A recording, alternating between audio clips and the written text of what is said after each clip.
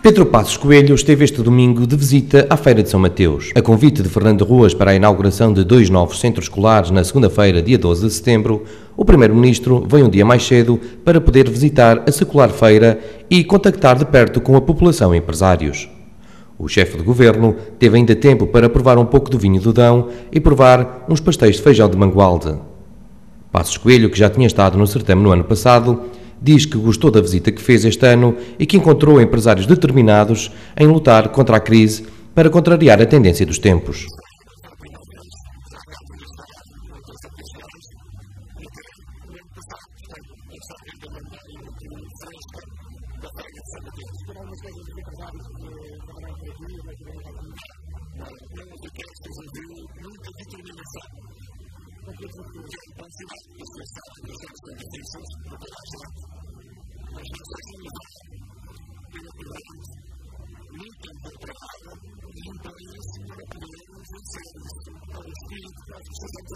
Da mão do presidente da Expovis, entidade promotora da Feira de São Mateus, o primeiro-ministro recebeu várias ofertas que simbolizam a tradição e a antiguidade do certame.